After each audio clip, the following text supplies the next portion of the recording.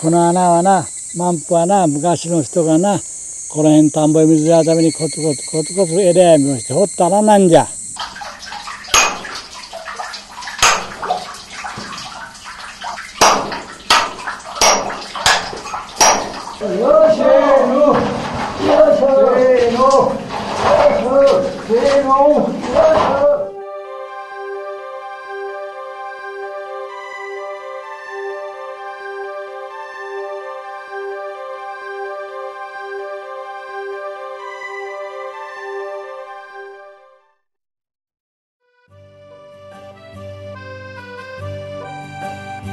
美作市稲穂は岡山県の北東部に位置し近くには美作山島の一つ湯の郷温泉があります。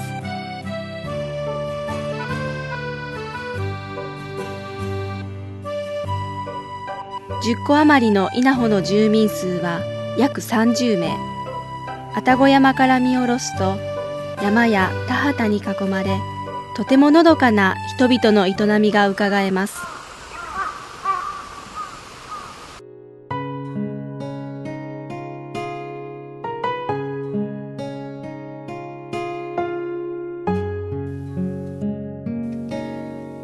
しその昔。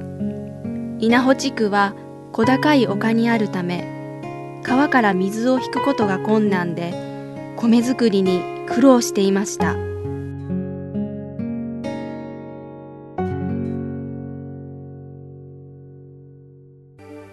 米作りは小さな古池と雨水に頼るしかなく日照りが続けば村人たちは愛宕様に集まって雨乞いをしました。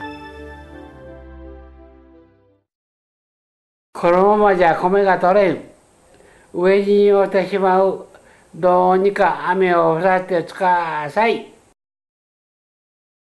明治時代稲穂に暮らす一人の若者が立ち上がりました。彼の名を安藤重政と言いました。わしら稲んぼの田んぼに十分な水が欲しい。せいで子供や孫の代までずっと水が豊かな土地にしたいもんじゃな。と重政は願いました。ある秋の夜重政は稲穂の村人を集め周辺の水利状態や天候などを調べ上げた資料をもとに3つのことを話しました。1つ目は大きな新しい池を作ること。2つ目は池に水をためるための集水溝を掘ること。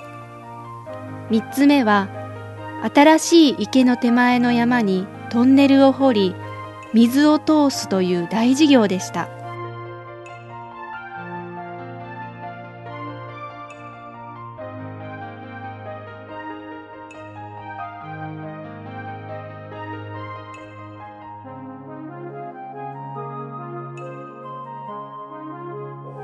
今この工事をしておきゃ子や孫の代まで上苦しむことはのうなるけんな。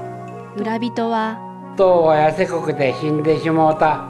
あの時一握りの米があったらなわしゃせにゃいけん。と賛成してくれました。池作りが始まりました。村の女子や若いもんも働きました賑やかに温度を取りながら棒で地面を固め足で練りながら池の土手を築いていきました。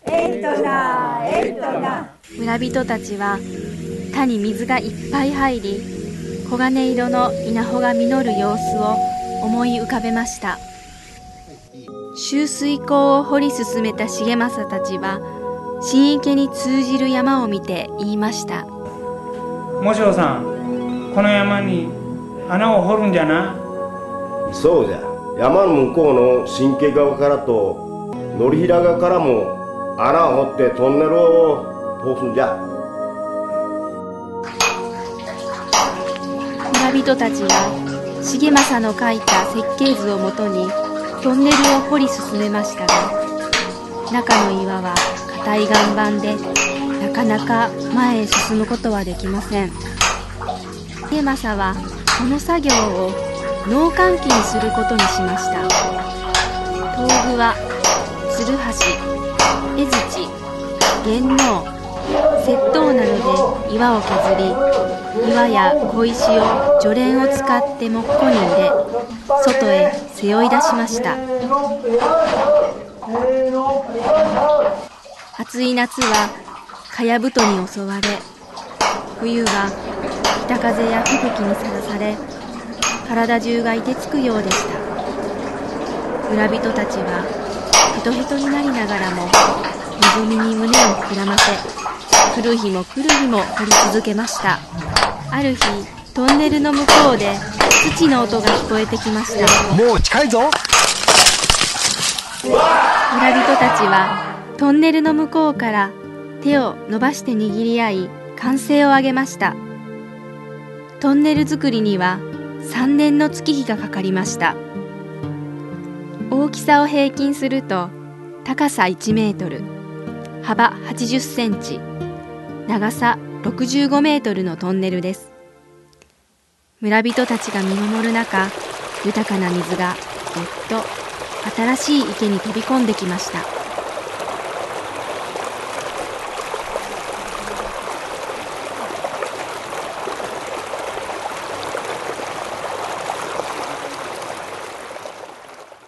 マンプができてから新池の水は稲穂と近隣の田んぼを十分に満たすようになりました。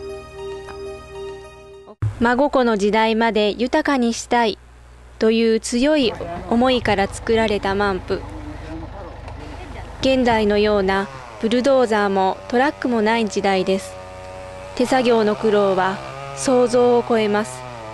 彼らの思いはどれだけ強かったことでしょう。そんな彼らの思いは現在まで引き継がれています。6月初旬になると稲穂は満腹から注がれた新池の水を使って田植えの準備に入ります。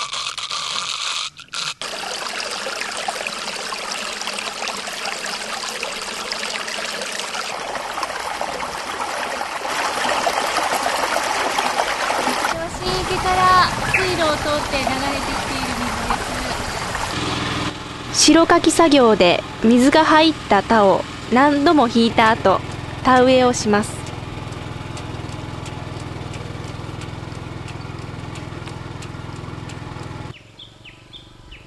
稲穂の田植えが終わりみんなもほっと一息。行儀よく並んだ稲のそばでカエルが嬉しそうに鳴いています。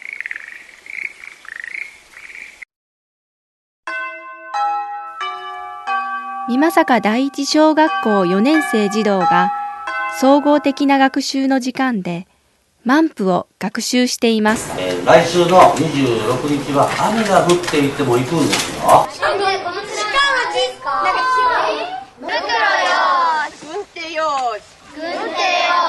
心の準備はいいか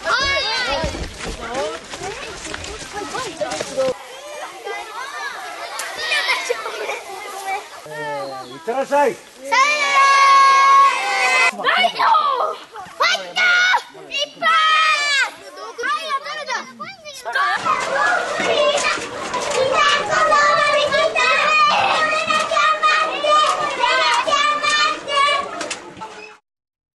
ゆかちゃんどうだった？水が冷たかったし、低いし怖かったし、もう無理。マンプの中どうです？かはい、狭くて、ちょっと頭がゴツゴツして、でも楽しかったです。